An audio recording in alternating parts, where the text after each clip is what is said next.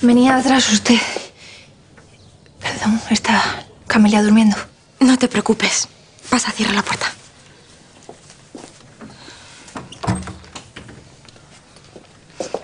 Qué alegría verte, Julieta. ¿Has podido visitar a tu abuela? No sé si tendré tiempo, Marcela. En realidad, yo quería hablar una cosa con Emilia. Claro, cariño, claro, siéntate.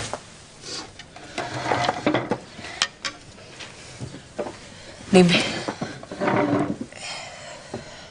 Emilia, vengo a informarle de la decisión que han tomado doña Francisca y Raimundo.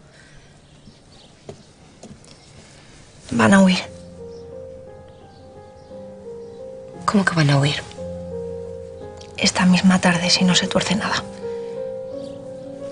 Don Raimundo no quería abandonar el pueblo, pero doña Francisca le ha pedido que le acompañe hasta estar a salvo. Luego él volverá. El caso es que Saúl y Prudencio me han pedido que sea yo quien las avise. ¿Y dónde se piensa marchar doña Francisca así de improviso? Emilia, no sé el lugar.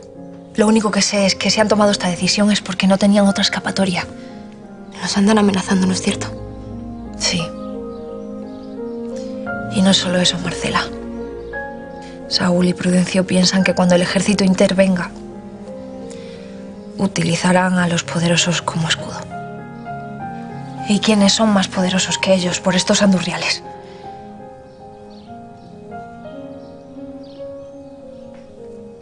Mi padre debería marcharse y no volver. Si doña Francisca huye, mi padre se queda. Las iras caerán sobre él.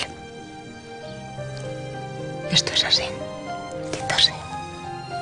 Emilia, en cuanto doña Francisca y don Raimundo se pongan a salvo, su padre se pondrá en contacto con usted.